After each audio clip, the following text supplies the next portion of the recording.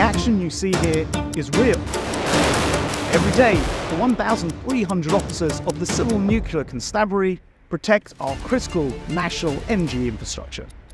From protecting sites holding the most sensitive nuclear materials to supporting UK wide counter terrorism policing, the CNC is ready for anything. Now, this is energy security in action.